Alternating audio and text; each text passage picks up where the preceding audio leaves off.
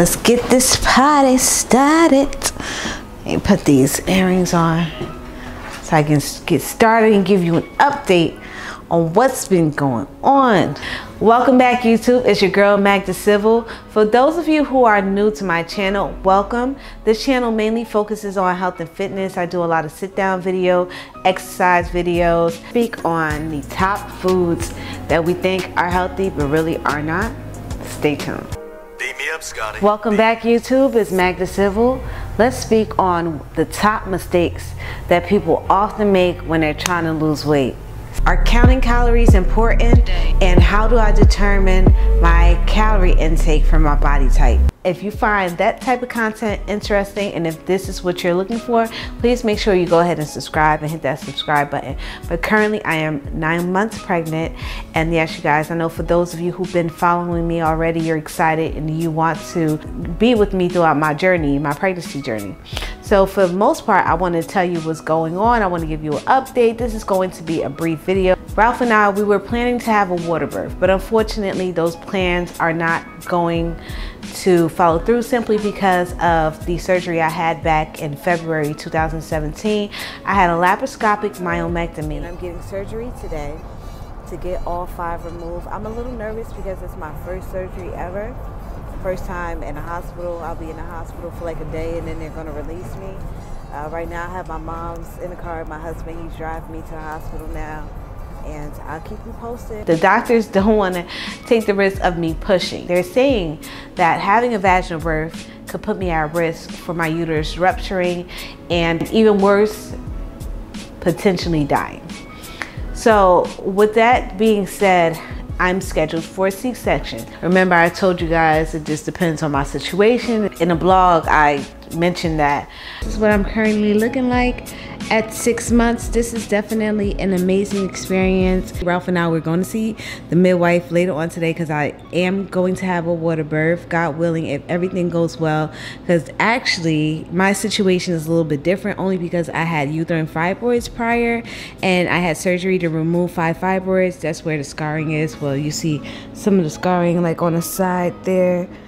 That's one. It's, it was um lapro laparoscopic uh, myomectomy that I had done. So these are some of the scarring from the surgery. They it wasn't really invasive, as you can see. It's very small, like um, cuts. They made incisions, very small incisions that they made. How am I feeling about this? You know, I was fighting, going back and forth, trying to see if there was another alternative. It's coming up in two weeks. I'm actually really nervous because I did not Initially, I didn't want to have a C-section. Most medical facilities, what they tend to do is they push for the C-section because they know it's more money. Even with knowing that I went with a facility that caters to vaginal birth, that caters to natural birth, I still wanted to make sure that these individuals had my best interest at heart when they said, Magda, we have to move forward with the C-section.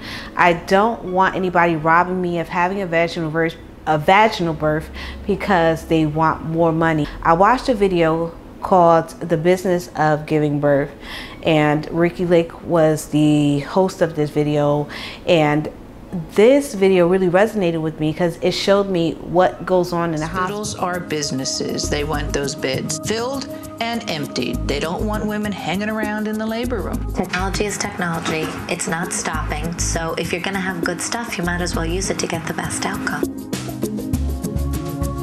maternity care in the United States is in crisis. People don't have the information. Medical decisions are being made for monetary and legal reasons, not because they're good for the mother and the baby. This is Pitocin, which is the medication given through the IV that causes contractions. Just check that she's on PIT. Just make sure that yeah. she's on PIT. I asked to keep upping the PIT. And if you're uncomfortable, we can always give you more. Is this an improvement or are we making things worse?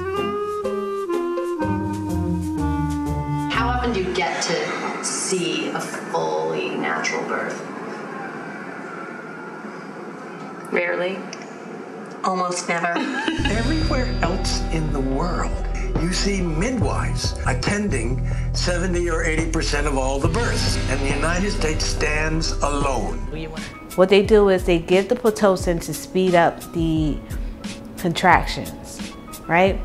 And once you're in pain and you can't take it anymore, then they give you the epidural, and the epidural slows down the contractions and it slows down the birthing process. So what they do is they go back and forth with the Pitocin and the epidural. The baby goes into distress, and the doctors don't tell you that this is the cause of the distress.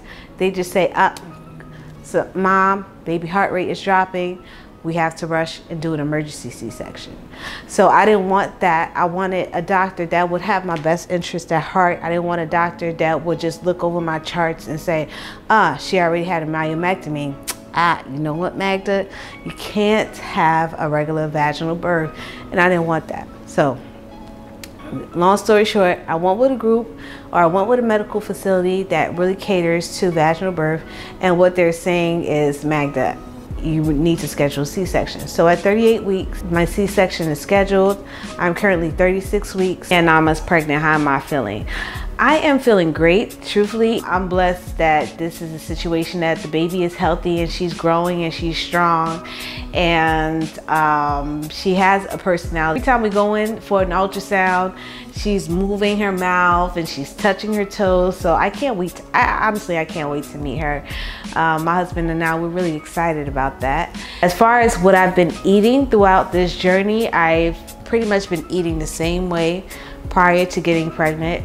It's very hard to break habit. In regards to the cravings, I did have like sweet tooth cravings, just Philly cheesesteaks and Mexican food. Good, most of the food that I really do consume is at home. If I don't eat food or if I don't buy um, canned food or food that's pre-packaged. If I don't consume that, I'm not going to have her consume that either.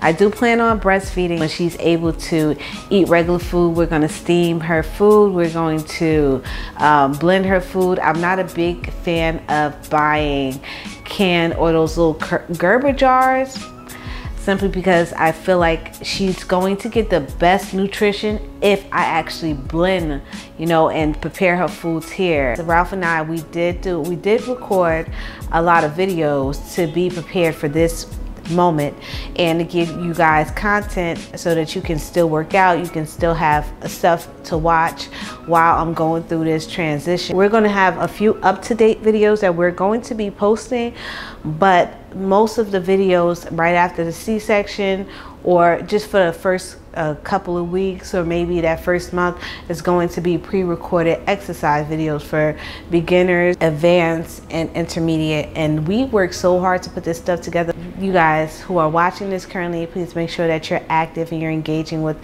other people who are commenting and just to make sure that you inform them like, hey, you know, she did say that she was going to upload a lot of pre-recorded stuff because she just gave birth. For those of you who are wondering if they can exercise while they are pregnant, that's something that you really need to need to speak to your doctor about.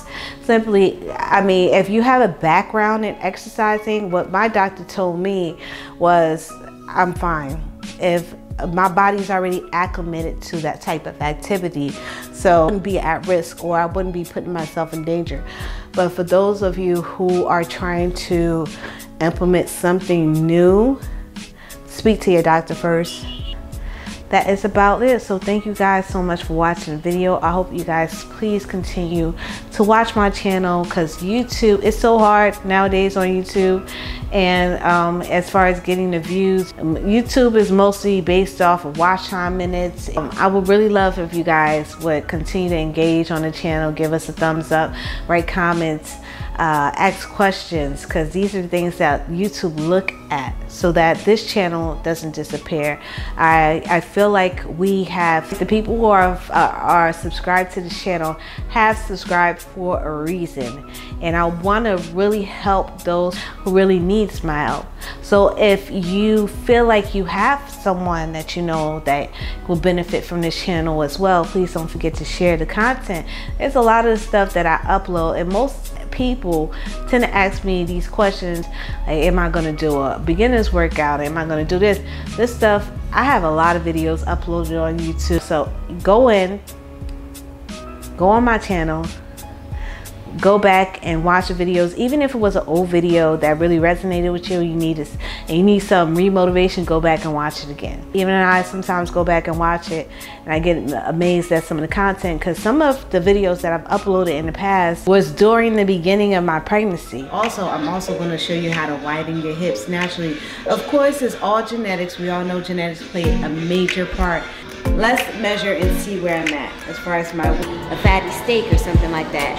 And if I'm eating a lean meat, I would predominantly have lean meat with uh, carbohydrates, brown rice. And I was only one month pregnant recording the video and I didn't want to tell anyone at the time due to the fact that prior to this um, pregnancy, I had a miscarriage. So I didn't want to just let everybody know so soon or so early on. I wanted to make sure that I can bear the child prior to let you guys know. So thank you so much for tuning in. Don't be shy to message me. I'll be here to answer your questions and I'll see you next time. Take care.